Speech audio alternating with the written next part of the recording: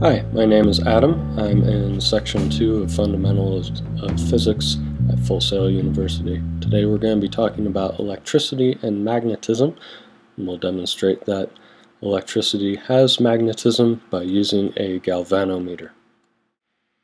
A galvanometer is an instrument that uses a floating magnetic needle to detect the magnetic field produced by electricity. Essentially, it's a compass. Normally, the north-facing needle of a compass tends to align itself with magnetic north of the Earth, so we can see which way north usually is. And if we were to turn the compass, we would notice that it always stays facing the north, no matter which direction we turn it, because it's aligning itself with the magnetic poles of the Earth. Now what we're going to try to do is change that. We're going to try to change the pole from north to south and then south to north using magnetism and electricity.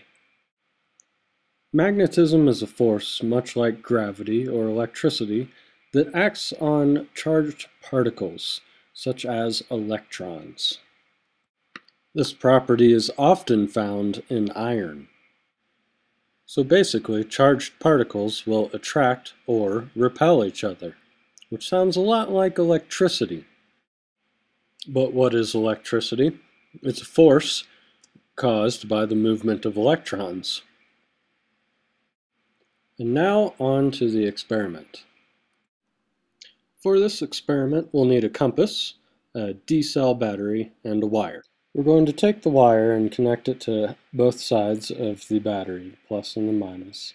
And we see that as electricity runs through it, it draws the north end of the needle to the wire, and the needle will follow the wire around.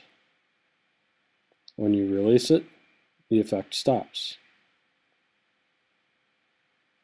Now notice that distance has an effect on magnetism as well. This diagram shows our setup, plus and minus being the battery, the wire, and then the magnetic field circles the wire, all moving in the same direction. We can demonstrate here that if you change the polarity or the direction of the electrical flow, it'll also have an effect on the compass. Notice that now the white south-facing needle is being drawn toward the battery when we change its polarity. Now if we flip it over, it'll again draw the red needle toward it.